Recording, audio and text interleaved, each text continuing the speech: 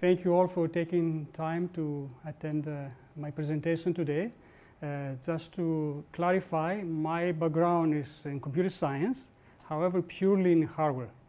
Uh, I view myself a facilitator of uh, execution of applications. My understanding of machine learning is that, oh, this is what people do, let me see what I can do for them. Uh, I have very rudimentary understanding what machine learning is, why it works, and all this kind of stuff. So I really appreciate your time today, more so because I understand you have so much attention from everywhere and everywhere. Uh, so hardware is uh, a bit of, a, I think, an afterthought for most people, especially in the academic domain, because we don't actually, uh, as of today, we don't yet build this kind of machines. It's more about what we could build. So I'm also quite privileged to have worked with several exceptional people over the years.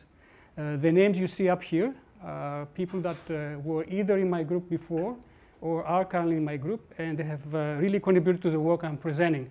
Some of the work initially was done with uh, Tayler Hetherington, a, was a student at UBC, and Tor Aamodt is a faculty member there. Natalie Enright Jerger is also a faculty here at, at U of T. Uh, that is about earlier work in there. Uh, a bit of background for, for myself. So uh, sorry if I, I, will start sounding like an old person. It happens quite a bit later for me. I don't know why. But I started uh, getting interested in computers back in the early 80s. Right? At the time, I was in Europe, in Greece in particular, and the hot machine at the time was something called ZX Spectrum.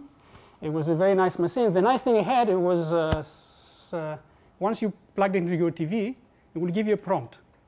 And that was already a basic programming environment. That is, even to load a game, which by the way you did with a cassette uh, through modem sounds, you had to understand that you have to write a command and a string, whatever. But if you want to draw something on the screen, it was very easy.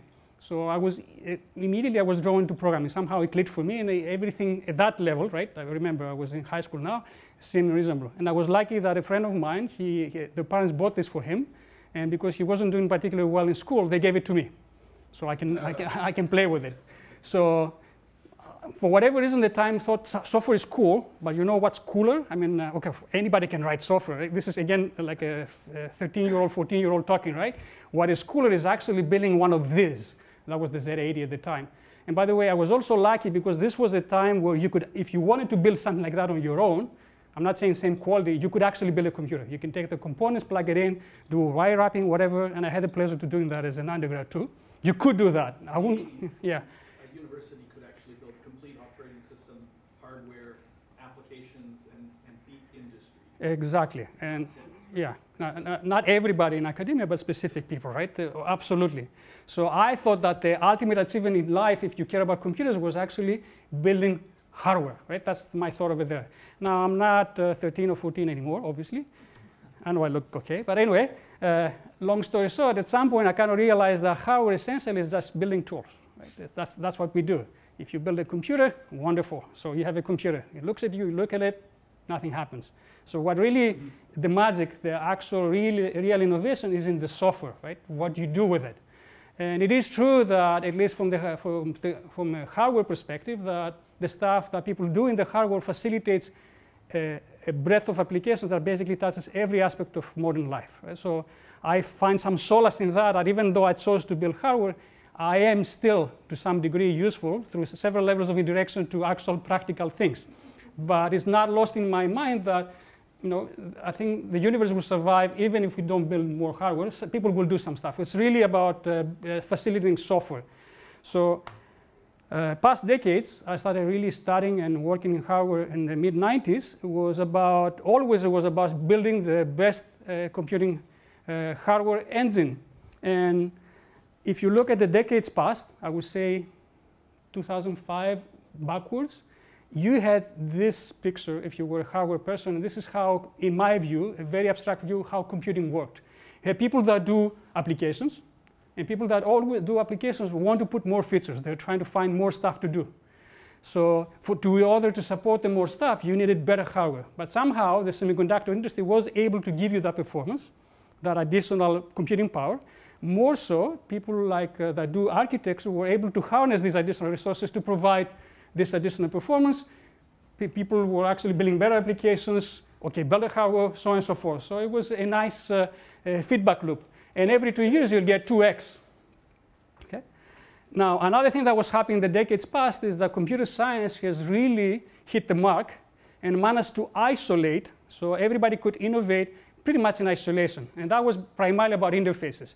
At the hardware level interfaces, your instruction set, operating system might be the operating system calls, whatever, there are multiple levels of abstraction. So everybody pretty much were doing them, their thing. You could do databases without necessarily knowing about hardware, and I could do hardware without necessarily understanding databases, right? And that was fine, because again, every two years you could get 2x. So when that was the case, the game, from my perspective, was to build the best general purpose processor. That is, I will try to find various applications out there. There are actually uh, benchmarking suites, you can take that. I will study them and try to find what can I do for these applications that will give me this 2x in two years, whatever. And there's a lot of innovations that have happened. And if you look at the most successful stuff, they're really uh, not application specific. They kind of work for pretty much everything. And the important thing to realize is that most of them work because they understand that programs are not random objects, right? They're like all people or people that have uh, particularities. I woke up in the morning, I need to drink coffee. Others in my household don't need to do that. But so, for example, I, I hope that a lot of you are familiar with caches, which are fast memories on the chip. The reason these things work is because programs have something that uh, called locality. They tend to access the same thing close in time. You can write a program that doesn't have locality. You can write a program, you can prove caches are useless, but the sole purpose of that program is just to prove that point. No real program I'm aware of actually does that intentionally, right? Programs do happen to have these properties. So most of our work was trying to understand what behaviors exist in applications. How can I build hardware techniques that will give you performance just because that happens? If uh, back in the day, back in the days like 10, 15 years ago, you went and said, I'm going to build you a specialized engine for, for something, people will laugh in your face. They'll say, get out of here, I'm not interested. Why? Because two years down the line, I have a machine to, that's 2x, applications evolve, your hardware will probably be useless, worst case scenario. If anything, it will be only a delta over general purpose hardware, and the market is going to be very small. Who cares about you? Nobody does that. So specialization was very restricted to extreme cases where there was a clear market case and a clear need, like video encoding. And even then, it wasn't absolutely necessary. So nobody will talk about that. Now, this is a marketing slide from Intel. I haven't drawn these graphics. I don't necessarily condone the style of the graphics or whatever, but I put it up there to make a point. This is from uh, two, three years back. I would like you to focus on this. This is the marketing slide that Intel had that will try to convince you why you should buy a new processor from them. And let's uh, blow up this up. And it says the following. And you have to look at, first of all, kudos to them that they're actually truthful, right? They're not trying to trick you or anything like that. Keyword, up to. Okay, what is up to? I guarantee you, you will not exceed that. That's what up to, right? That's, that's what it means. And it says 28% better performance, which means like one third. And versus another three, three-year-old desktop. Remember before, it was 2x every two years. Now it's 30% every three years. So long story short, there is a, something is different. Right? And this is like the cream of the crop in the industry, right? This is Intel. So if you do the math or whatever, this means that over a decade, whereas before you could have a machine that would be 32 times faster than the one that you could build in the beginning of the decade, you're not going to have that. So it's a major issue because it impacts innovation in all other fields in computing. You cannot just assume that your machines are going to be faster, whatever. Why is this happening? Uh, maybe you've heard this before, so I'll summarize it briefly what has to do, what's the fundamental reason behind it. Again, this is a bit lower level in the stack than my expertise is, but it has to do with semiconductors.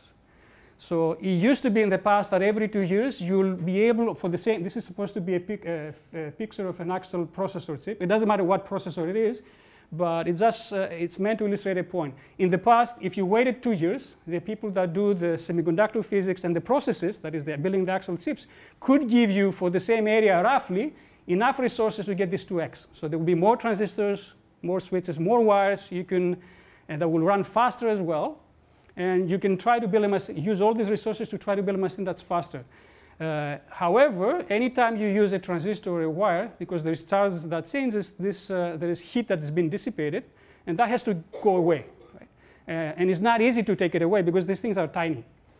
So what happened for the, in the 20s, uh, in uh, the past decade, people could build uh, faster machines, and they try to do that for various reasons, which I want to go to, to, that, by building more cores. So whereas before you would buy one processor per die, now you can have four processors per die. Next generation, you have more transistors, maybe you can build eight processors per die. I think right now com uh, commodity parts are at the eight range. You can get high-end parts that have 32 or 64. However, what was common in every single case, every new generation, you could use all the resources at the same time. Now, because uh, again, there's the issue of uh, you switching things and this generates heat, you need to dissipate that heat and people cannot do that anymore. So long story short, as far as people are concerned, you could still get more resources per generation. So two years down the line, hopefully you will be able to build a processor that has more transistors, more wires. However, there is another catch. You will not be able to use all of it. So this example is supposed to illustrate that you can use half of it at any given point in time. So there is an obvious observation you will be able to make. If I can use half of it, what is the point of building four cores in such an example, having four identical processors? Because I can use it like that. There are two that are active. I cannot use because my thermal limits are hit. I could do this. I could use the two on the side, but it's still two, and they're identical. So practically speaking, from a user perspective, this is exactly the same machine. Who cares whether it's the two bottom or the two on the side? I could do this. It's the two bottom, but again, it's, you still have two processors. So for whatever is, for the reasons I explained, what's going to happen moving forward, it's happening already. You're going to have more transistors, you're going to have more resources, but if you try to just replicate and do more of the same, more cores, it's not going to fly anymore because you're not going to be use all of them at the same time. It makes no sense to build homogeneous systems, that is systems where you have multiple copies of the same thing. So all the rage in computer hardware now is specialization, exact opposite than before. Why? Because it makes no sense to build the chip I described before. It makes sense to build things like that. Because at any given point of time, you will be able to turn on the parts that you care about. For example, here I have turned on these four different pieces. This could be a general purpose core. This could be a core, for example, that does graphics well. This could be a core that does, I don't know, audio very well. This could be a core that does machine learning very well. Right? And very well means that if you specialize, the expected uh, gains are typically in the order of uh, a few orders of magnitude. 10x, 100x, 1500x. This is, uh, these are common things that you expect when you specialize. And uh, we can offline explain why this is the case. So long story short, the way that we view the world in, uh, of computing from a hardware perspective right now in terms of the whole ecosystem is a bit different. You're going to have people that do particular applications, and the ones that I, am really interested in is machine learning at this point. Uh, and at the other side, you're going to have people trying to specialize hardware and try to see what is the best mix of uh, system software and hardware that will better serve these applications so that you can have these advances in innovation in machine learning. Uh, algorithmically, I expect that even in machine learning, even though there are going to be advances that try to reduce computation, most of the stuff will come if you have more powerful machines, machines that can do more per unit of time. So this is where my interest lies, on this part. And so far, because of our background, most of our innovations are here. So what I'm going to be talking today about, so this was the first part of, uh, of the talk. What I'm going to be talking about is some overview of some of the stuff we've done. Just to give you a, a sense of uh, how we can be useful to you, because that's the, that's the point here, right? Uh, we will try to come up with machines that can allow you to do more at the machine learning level by providing you more capability per unit of time. We can do, for example, things like there's commodity hardware, a GPU, or there's X architecture you're using. We can try to help you to better map your application to that particular hardware to do what you need. So this is one aspect we can help as, uh, with our expertise. The real love, however, from our side is the second part, which is we can try to build custom hardware for your application.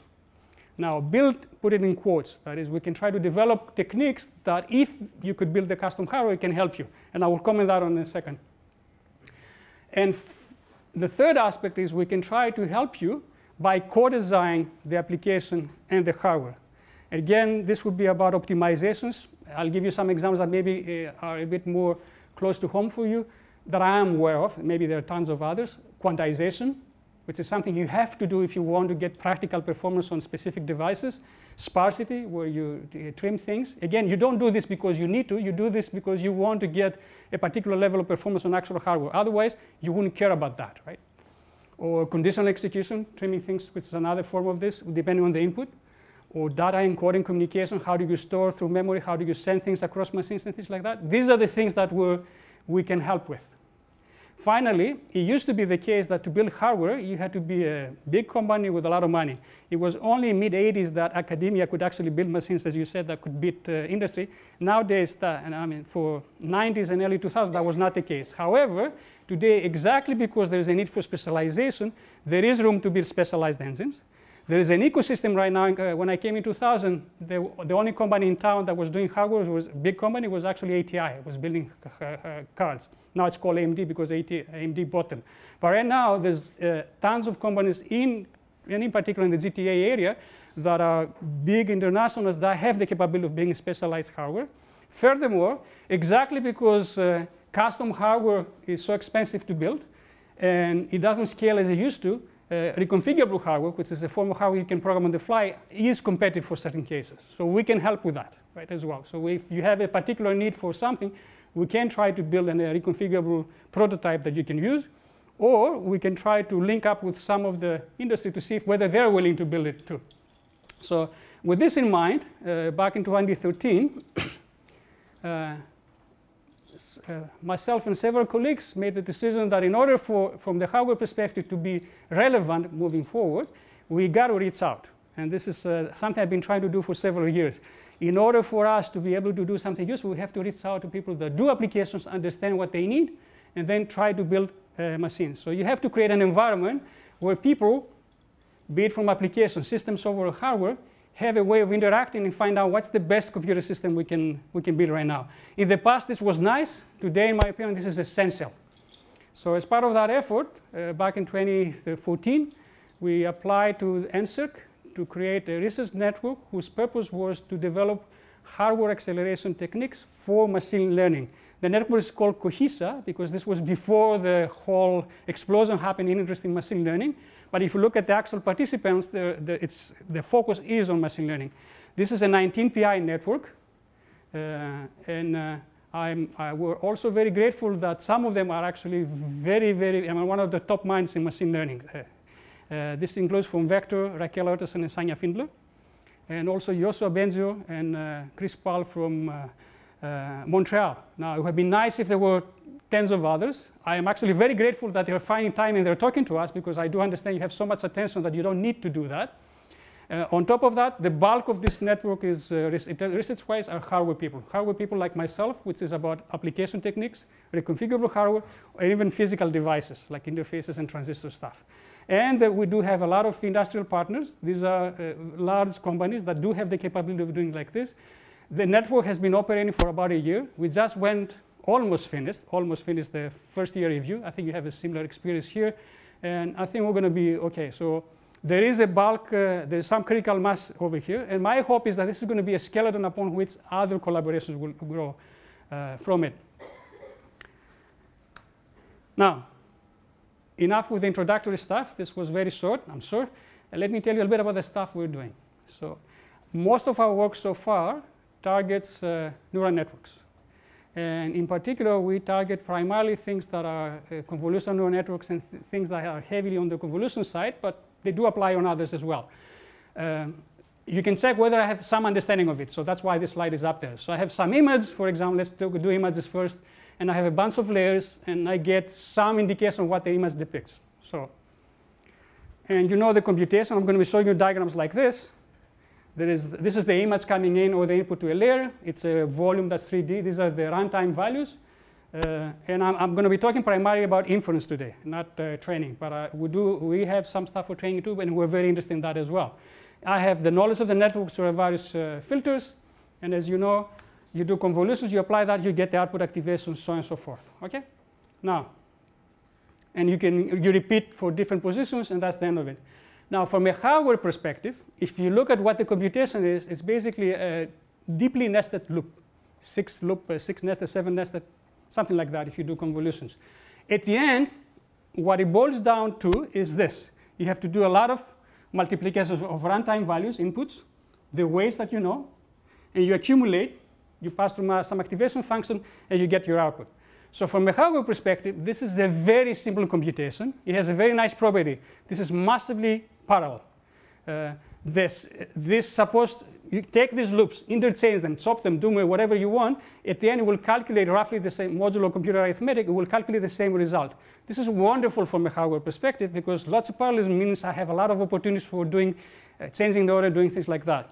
So if you know that most of your life is going to be about multiply, accumulate, this is what I want to do. Right? There's very interesting machines you can build. So, and this is not about our work. I'm just telling you what we thought people are going to build. So here we are. This is about four years ago. And we're saying, if I know that my computation is going to be this kind of thing, what will industry build next? Why we're doing this experiment? Because we want to be relevant, right? I don't want to compete with industry. I would like to think once industry does what is the first thing I would normally have done if I was working for them, what would be the next step? So my point here is to illustrate that there's stuff you can do beyond that. So if you know that your calculation is going to be take this volume, take this volume, multiply, accumulate, and find the output, what you're going to do is something like this. Rather than having a programmable engine, you're going to say, take the one input, take the other input. What am I doing? Multiply, accumulate. Well, put a lot of multipliers, as many as you can afford in hardware. Multiply in parallel, as opposed to one after the other.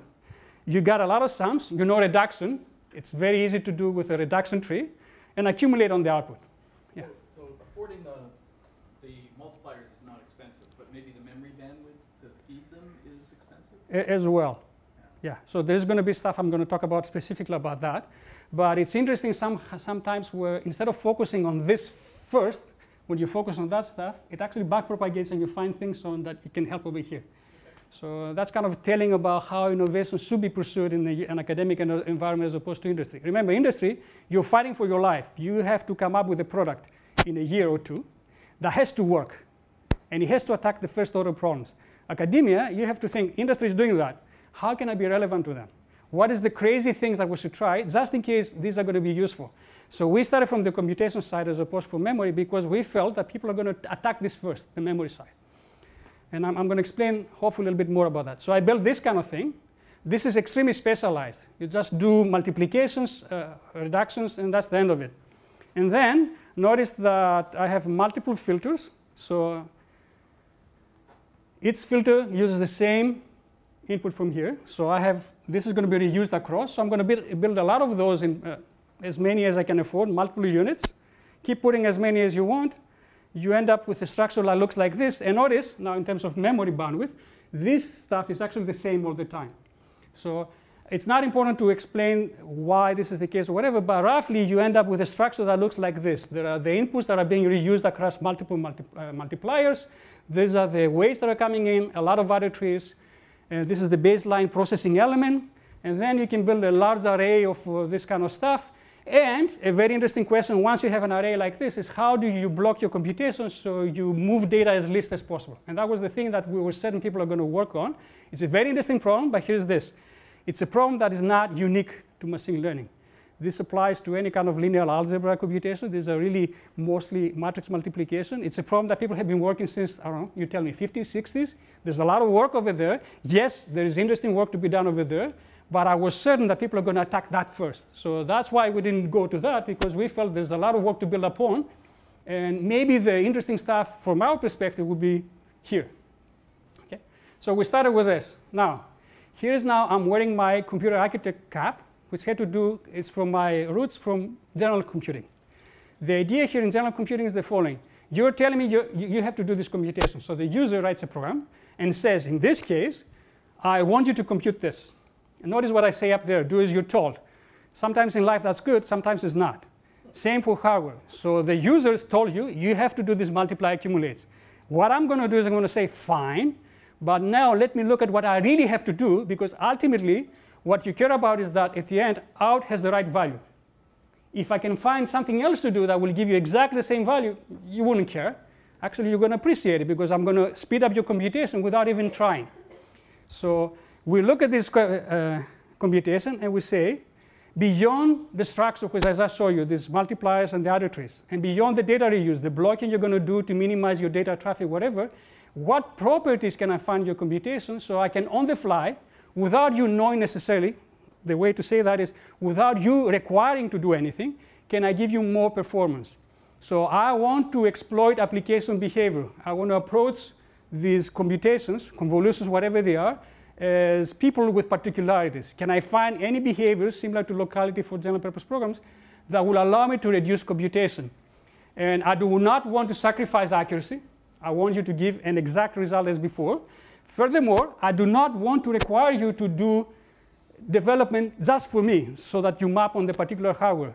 Right? If you read, I mean, I'm, I'm sure all of you have read the uh, Alex Krizhevsky paper, the AlexNet. He had to split the computation into two parts so that it will fit on two GPUs. Yes, it's not, I mean, anybody can do that, yes, but I mean, I can mop the floor too. Do you want a person like him spending time to do that kind of mapping, or you want them to focus on how, what's the best network, what is the best method to do backpropagation, what is the arrangement of layers?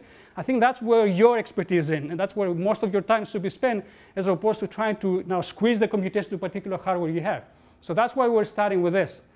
However, at the same time, I want to reward you if you're willing to do some optimizations like pruning or uh, precision reduction or not.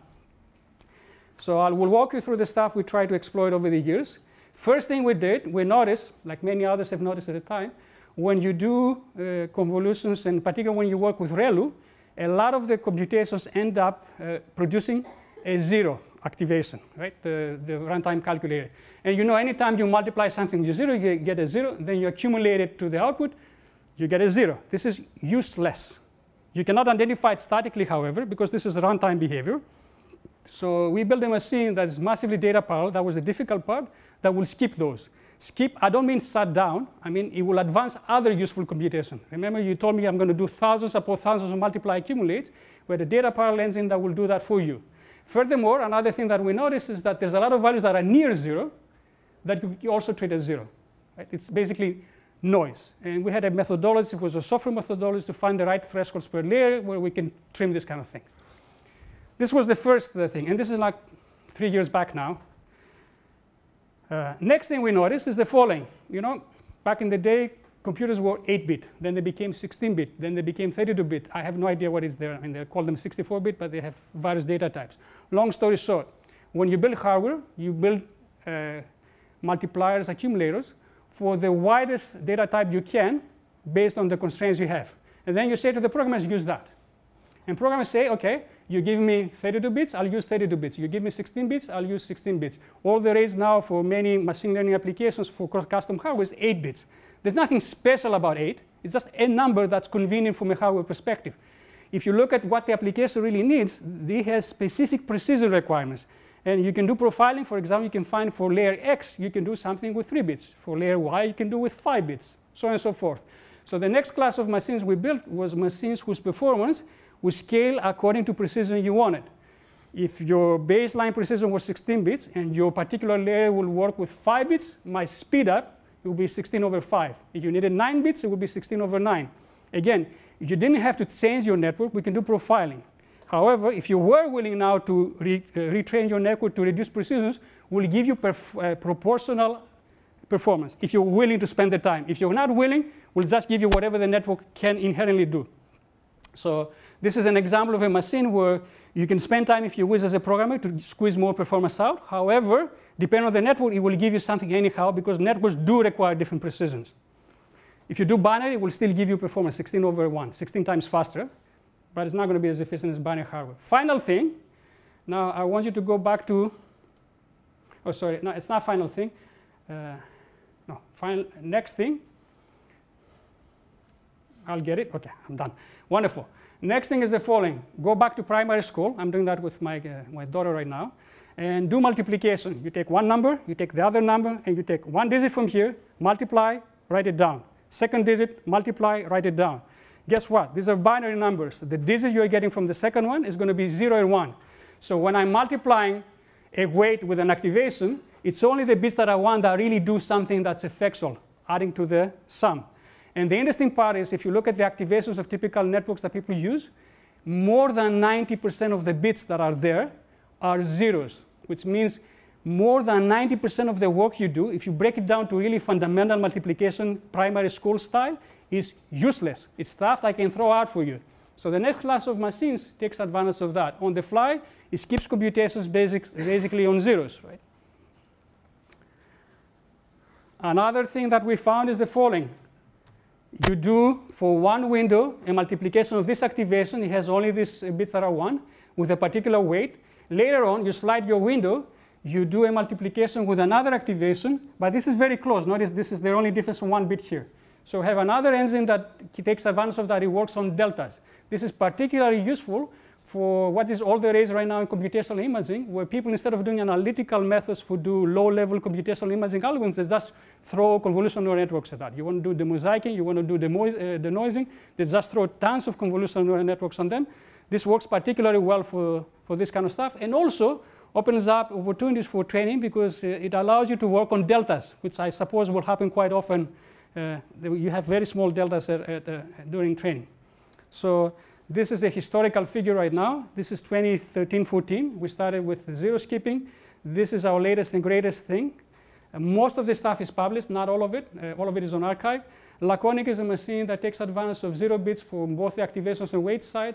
The numbers you see there are indicative what kind of uh, performance I'm going to give you versus a very well optimized accelerator. On the bottom line, that's completely value unaware. That is, value agnostic, that whatever you tell me to do, I will do it. I will take advantage of reuse. I will try to reduce communication, whatever. On top of that, this is what we give you. And if we have a bit of a few moments, I'll, give, I'll walk you through some examples, and I'll talk about a little bit about memory to see what kind of stuff you can do. Uh, again, remember, somebody told you to do this and you say, let me do this calculation. And they say you should do it with 16 bits, you should do it with 8 bits. What we do at the hardware level, we say, wait a moment, you told me I should do this like that, but let me look at the values you're actually calculating. Notice here I have an example where I, I expand the activations into the binary form. When I need to do these calculations, it's only the range of values that have that started with the one most significant bit that's 1, and the least significant bit that is 1. In this contrived example over here, you see that I only need four bits to process. So we have an engine whose performance scales proportionally to the number of bits that you need. The less bits you need, the faster it's going to be. And it's guaranteed to be always as good as the baseline. So again, I, I promise you I'm not going to go into the actual hardware. I'm just going to give you a sense of what is, uh, the hardware can provide. We do not require you to do anything with precision. You give me a 16-bit network, I will work on it. Yes, please. Are you saving space, or are you trying to get the, the, the number of I'm saving time, and I will, uh, that is, I'm doing things faster. I'm doing more computations per unit of time, okay, because uh, uh, we have to go into the actual hardware, but what is the baseline machine that will have to process all 16 bits will do, uh, say, 16 amount of work over 16 cycles. If I can only use one bit per computation, I will do 16 of them equivalent. Same result, no change in the, in the outcome, same result. I'm just taking advantage of the actual values, and I skip all these computations. Okay? The keyword is bit serial in terms of the hardware yeah, design, and taking advantage of the fact that this is data parallel. Uh, so it's effectively microcode down there at the bottom, or are you laying out all of the hardware that you need in the maximum case? Uh, we lay down, it's a trade-off, but you, if you want to have the worst case possible behavior to guarantee it, you can put the hardware down like that. And then use logic that you calculate on the fly to turn off some of them. I'm not turning off, I'm just uh, uh uh, they finish early. It's a lot of units that are bit serial. Uh, I can take it offline. I can explain when we meet in person. But this is how, this is how the magic happens in, underneath. Uh, again, this does, takes, takes advantage of your actual values at runtime, nothing else. You don't have to do anything. If you can quantize your network in 8 bits, it will still work, right? It will give you the performance, so on and so forth. This is the idea behind. And this is for computation right now. I want to go and talk about uh, how you can use this now for reducing memory. So remember, this is the computation. There are layers over there. And remember, the computation is this. I have uh, any given point of time, when you talk about hardware, hardware is finite. It's not infinite. So you want to process this whole volume uh, with Windows or whatever. At any given point of time, you're going to be processing only some values. So per cycle, because these circuits tend to be synchronous, every step, you're going to grab some values, example 16 from the activations, 16 from every filter, you're going to do the multiply and then accumulate on the corresponding output activations. I hope this kind of makes sense as a setup. So any given point in time, I'm calculating with 16 values, right? Not with all the values. And furthermore, any given point in time, I have a specific input. Your network works for any image, right? However, at some point in time, you're processing one image and one image alone, right, at that particular cycle. Good. Now, let's take that piece out. These are the input activations for illustration purposes. There are 16 values I care about at this moment, all right? So we put it up there. What is the expected distribution? I'm not going to pretend I know statistics, but I've, we looked at a lot of this stuff, and usually the distribution of these things tends to be this, or take this out if it's a ReLU. Right? So what happens is most of the values tend to cluster near zero. There are very few values in between a little bit, and, as you, and there are maybe somebody, uh, some at the end that kind of trigger. Right? And we've seen this for image classification networks all the time. We see like kind of like, and I, there's an intuition behind it, as far as I understand it, that you're looking for features, the features don't appear everywhere. So far, so good? This is the expected distribution of values. Now, what does it mean? If you design your network to be 8-bit, what you're saying is, I don't care what my distribution is. I'm going to use 8 bits for everybody. This is the equivalent. We have this room. All of you have an opinion, but there's one person that's yelling, right? And I make my decision based on that person. I say, oh, I need a lot of attention, right? I don't refer to myself at this point. I'm just saying somebody needs a lot of attention. Attention means a lot of bits. You pick the bits to accommodate that person. And by the way, you do this for all possible images that you may ever see in your life. In reality, however, that is just one person or a few of them. This guy's up here. Furthermore, they may not occur for every single image. So the idea here is can you design hardware that will reduce computation and memory communication when you try to accommodate for most people and have some exceptions for the other guys over here. So there are many ways you can do that. The simplest we found so far that works pretty well is this. We group things in the way they're going to be computed. So let's say I have 16 values. They're rotated like this. So this is least significant bit, most significant bit over here. And it's very simple in hardware runtime to say, look at all these guys. Who is the loudest one? This. So for this group and this group only, I'm going to execute on my hardware engine using just these bits. So I'm going to adjust my precision on the fly based on your data. In, because of the statistics, most of the time that bar is going to be very low because the expectation is that most values are low. Only when you get unlucky and you get some value that's kind of high in your group, then you use the full precision of your machine. This is for computation. In terms of communication, now again, when you store in memory, you do not have to store in whatever precision you, you picked, which is 8 bits, 16 bits. You just say, for this group, and there's a very nice, simple way to do that in hardware, use this many bits. Done. Long story short, if you look at the networks we've seen so far, for 16 bits, we reduce communication and memory storage and footprint to one third.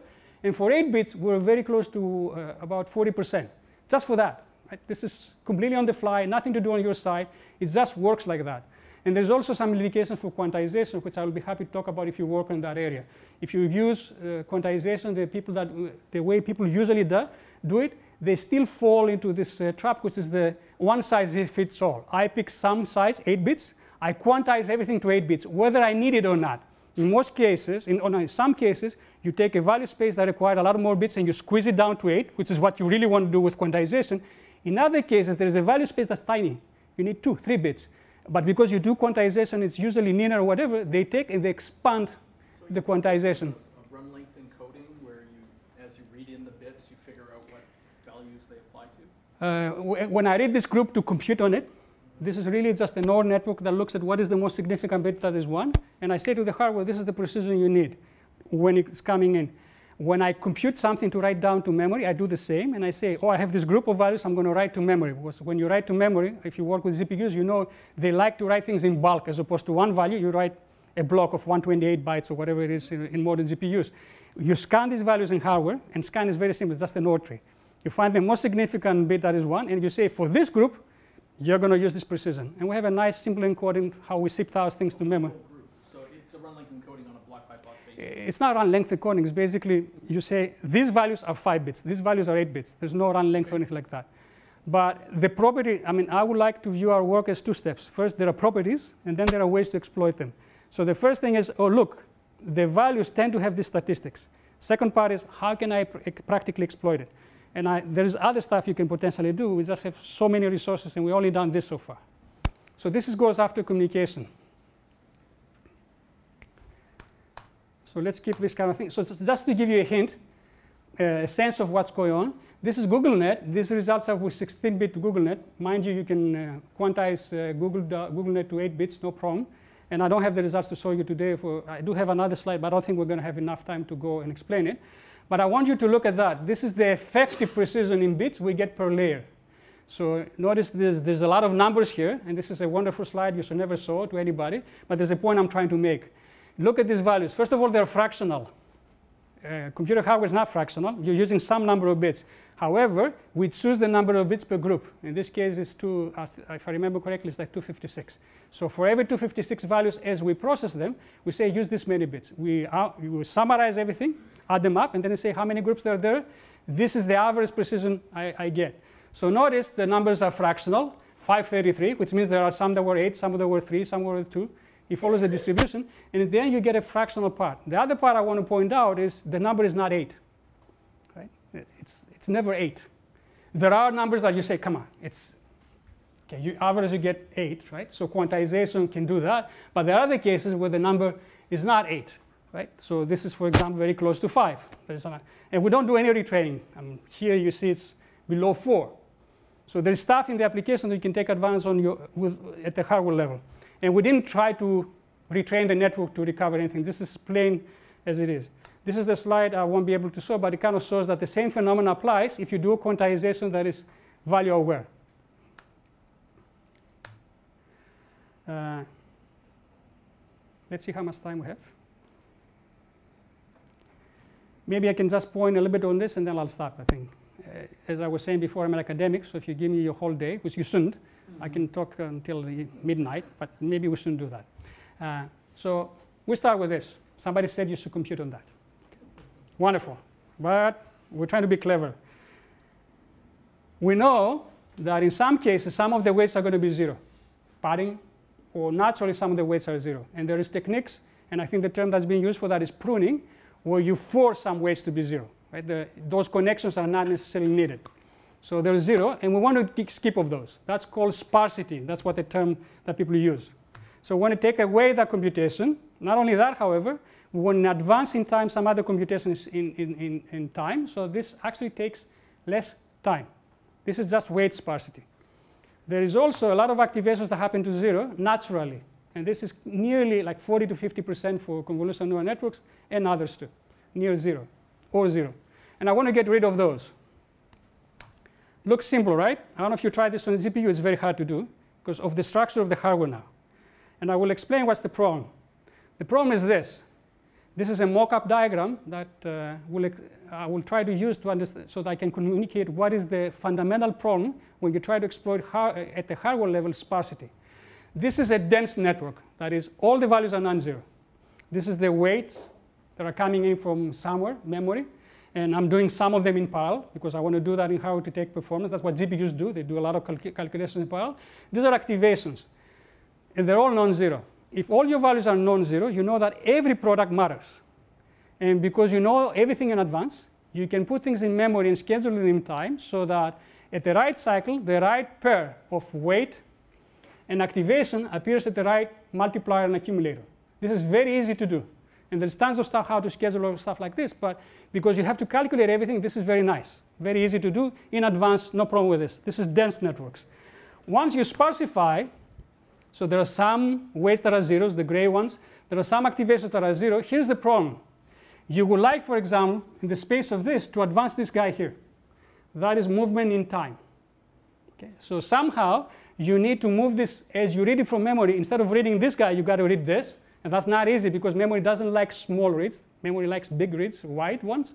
Uh, you may also want to take this guy and move it here, which is motion both in time and space. So you took something that was to appear here, and now you moved it here, so it has to appear on this multiplier to fill up them up all, but also in time too. So this is from the weight side.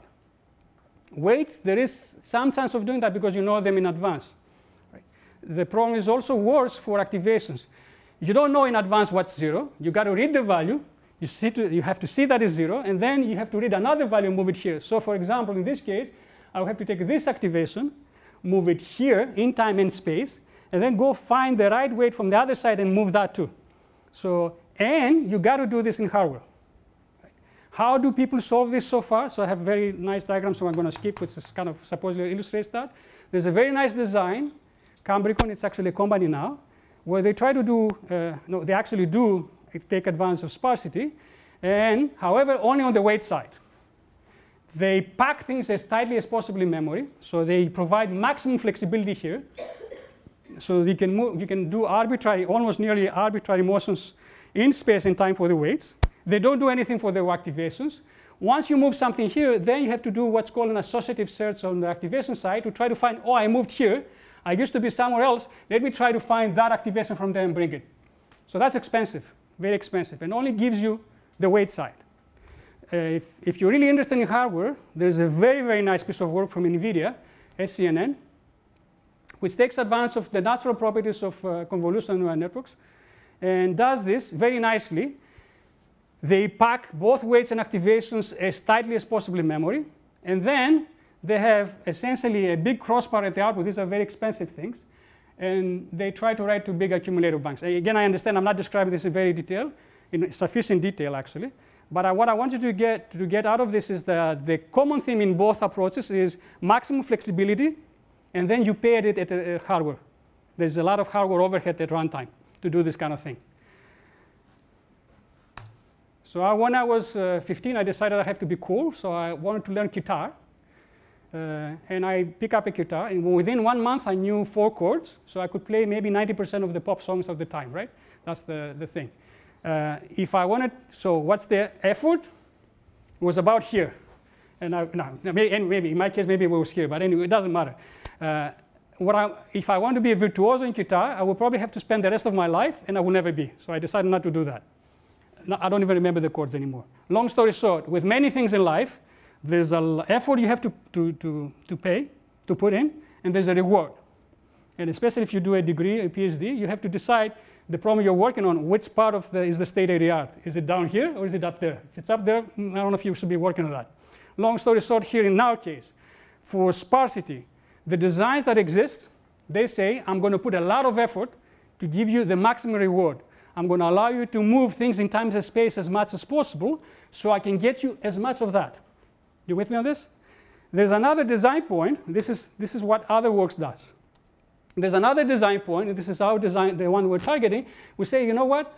I'm not going to allow you to remove every single zero. I'm just going to allow you to remove enough of them.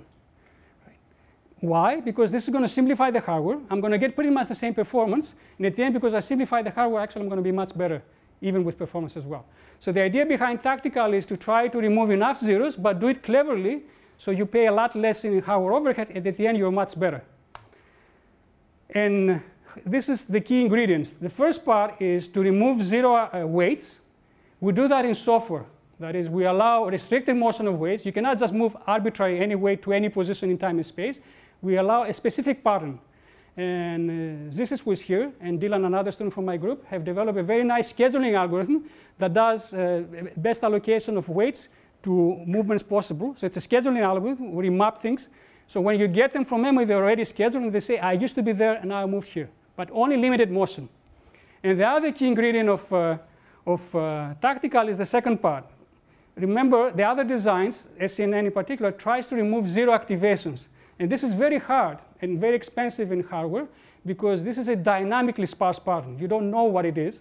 You discover it as you're fetching things. So we're saying, look, if you target zero activation weight, uh, zero activations, you have to contend with the fact that is, uh, this is a dynamically sparse pattern. Furthermore, for the stuff we see, at best you're looking at 50% of them being zero. Often enough, it's less than that. So most, you're going to get 2x out of this. However, here's another thing you can do.